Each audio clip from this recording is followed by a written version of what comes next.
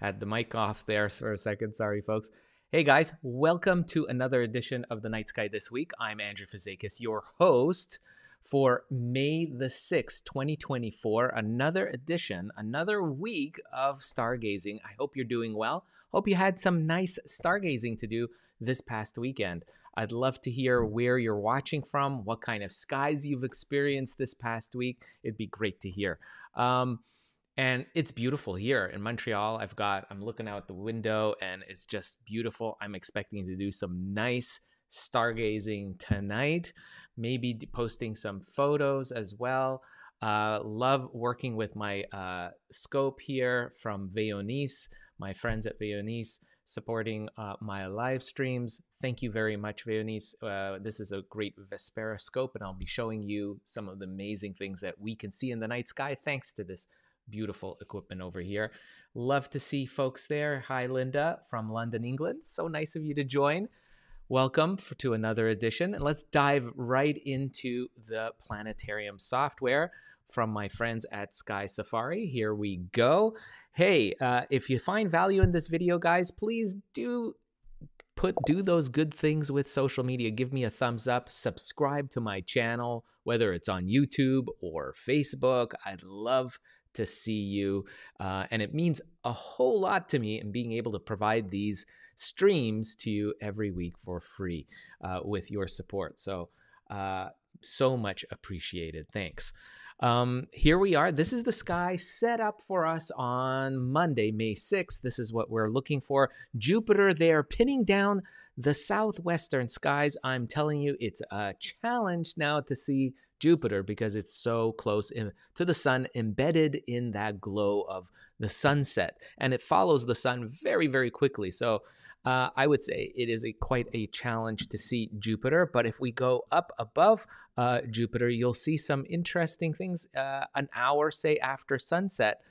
You can still see some of the leftover constellations of the earlier spring, late winter.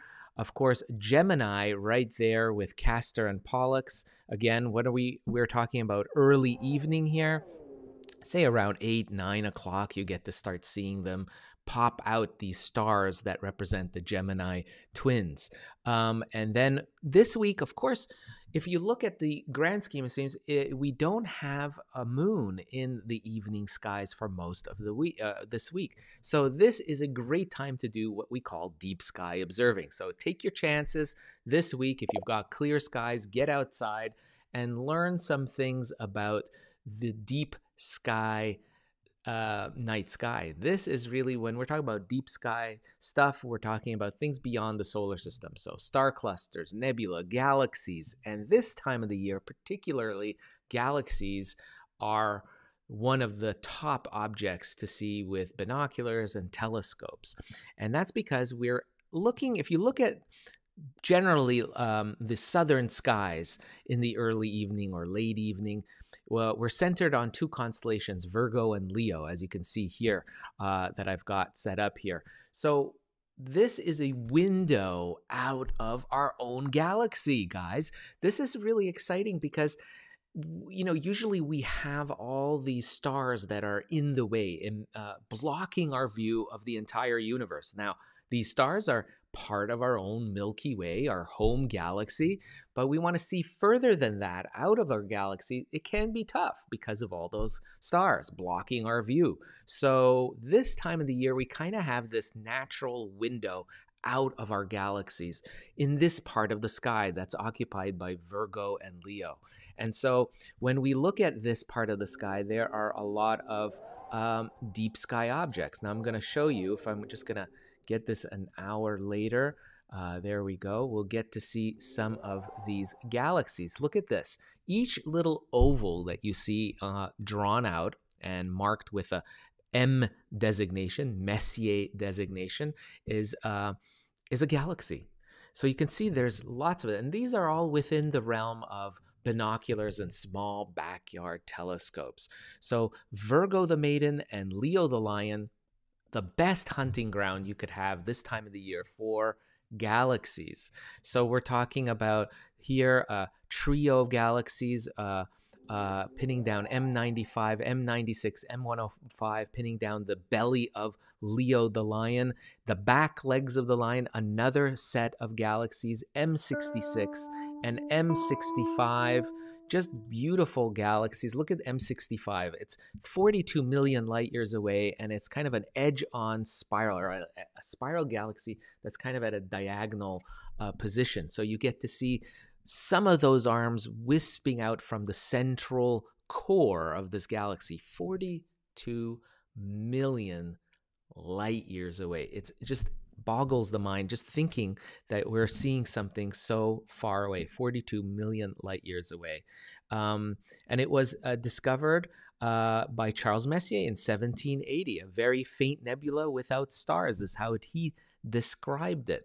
And so it's uh, you need a, a gal maybe a um, uh, binoculars that has 10 times power to be able to see this. You can see it's part of a trio. Look at that Imagine being able to see all three of these galaxies in one field of view through a telescope. It's really amazing. Look, an edge on, all three spiral galaxies. Look at this completely edge on spiral with a dark dust lane cutting right through the central bulge of this galaxy.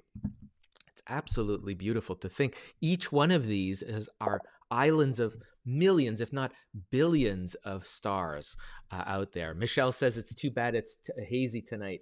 Uh, well, hopefully you'll have the rest of this week. You'll have at least one week, one day out of the week where you can have clear skies. It's this is actually visible for the coming month or two or three months. Actually, this uh, this view that you're seeing here through a telescope. So don't worry if it's cloudy tonight. You'll you'll probably get other chances to see this uh, over the course of the coming weeks and months. Then, if we move over to Virgo, look at this. It's uh, like a whole smorgasbord of galaxies. It's amazing how many there are. Uh, again, many of these look like what we term in amateur astronomy circles faint fuzzies. So these are really what look like little cotton balls through the view of binoculars and telescopes. Again, a 10 times pair of binoculars is what you need, at least dark skies, no moon this week in the uh, late evening sky, so it's perfect time to hunt for all of these uh, strange, mysterious, distant islands of stars. There's M60. And I'm just going to go through some of these are giant. This one is a giant elliptical galaxy, 56 million light years away. M59 next to it. M58. Look at this. M58, another beautiful spiral galaxy, 65 million light years away in the constellation Virgo. Look at those beautiful, tight spiral arms. Just imagine millions of stars embedded in all across these beautiful arms that are just hugging that central core, the downtown core of this galaxy. So far away from us 65 million light years away about the time of when the ga- uh, dinosaurs here um, met their demise thanks to that giant asteroid. 65 million years ago approximately think about that. That's how long the light takes to come from this galaxy m58 and you can see it with a strong pair of binoculars, a small telescope. It's incredible how ancient that light is. And there, you know, and it just goes on and on. I mean, you can have here the Coma Pinwheel Galaxy. This one over here, M99. Look at how beautiful this one is 42 light years away. Look at the beauty. This is again a photograph taken through a backyard telescope showing us the true beauty of these spiral arms that come out from these uh, from this galaxy. It's just amazing to think how many, and you can see from the map. I mean, there's lots. And if I zoom out, I, will show you where these are. These are in the southern um, sky. Uh, around this is centered around just after 10 o'clock and uh, it's right above the head of of Virgo the Maiden, and you can see Arcturus, the bright orange star, just off to the left of this group of galaxies. Here's another one, a Black Eye galaxy, very famous galaxy as well. It's also known as Messier 64, only 14 million light years away, relatively close compared to these other galaxies that we're talking about. Look at how beautiful that. It looks like a black eye through a small telescope. It's this orangey yellow uh, central region with a very dark dust lane un- just underneath it. And then surrounding it is this very ghost like kind of shroud of. Um, of stars that are forming these very wispy like um, spiral arms. It's really beautiful. Only 14 million light years. And I'm saying only because of all these other much larger distances. So this is actually really fun to see this week. I highly recommend it. I'll put some sky charts about these so that you can kind of do your own hunting of these um, on your own time. But uh, again, springtime in the northern hemisphere, uh, fall in the southern hemisphere, great time for galaxy hunting right now.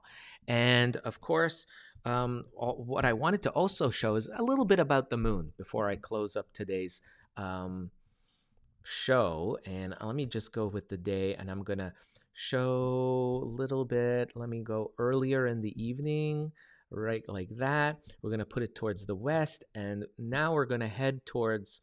Um, Tuesday, Wednesday, and look on Wednesday. You see the moon just pop up there just above Jupiter? That's Wednesday. By Thursday, the moon is a little bit higher. By Friday, even higher than that. And you can see it's kind of in between two stars, Procyon and Capella, two bright stars kind of sandwiching the moon. Again, this is on this is Friday night. Friday night, May 10th and there's May 11th. I'm going to by Saturday. I'm just going to go in a little bit later, so uh, at night, change the hours to like 9, 10 o'clock.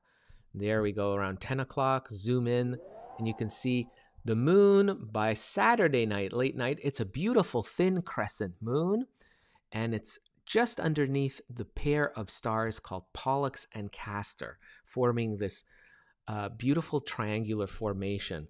Again, this is Saturday night, May 11th. Just gorgeous, looking towards the western sky. If we now switch to Sunday, look at this. It forms this jagged line, almost a perfect line, with Pollux and Castor, still in Gemini. But look at the moon uh, with that pair of stars. It's going to be very eye catching. Again, this is Sunday night, May the 12th. How cool is that? Looking in the south or western the western sky.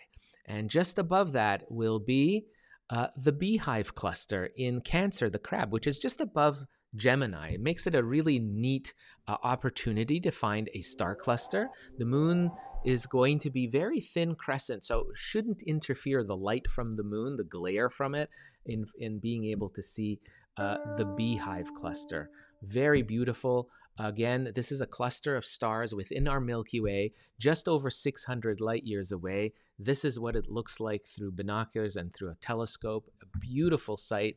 Again, Sunday night, the moon is going to be not far away from this cluster, but and it shouldn't interfere, but makes a good guidepost in finding the beehive cluster with the moon, Pollux, and Castor, the Gemini twins just near it. Just absolutely gorgeous. Hey, Cynthia, nice to, for you to join. We've got Joe also joining us from Sydney, Australia. Um, uh, we've got Gudrun from uh, Sweden. Um, we've got Rafiki from Botswana. Wonderful to you. All on Facebook. Wonderful to see you. See you. Tabby is also here. Fantastic. Hey guys, thanks for joining.